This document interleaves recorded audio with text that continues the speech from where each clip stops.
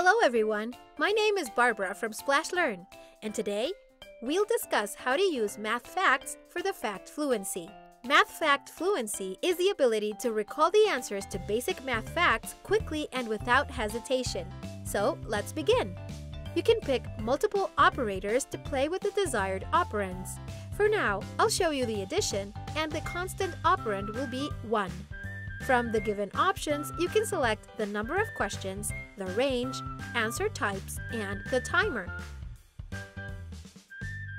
So, for every correct answer, there's a coin that a student earns. I'll also show you what happens if I do a wrong answer. And I'll leave this one to show you what happens if I miss out on answering during this time. So, after the time is finished, a summary is displayed and it shows how many correct answers the student has given. It also shows the missed problems. So over here, I did an answer incorrectly. The incorrect response is marked here in red and the correct answer is also displayed for students' better understanding.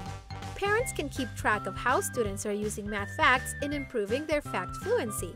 And teachers can use this in the remote learning environment for extra practice.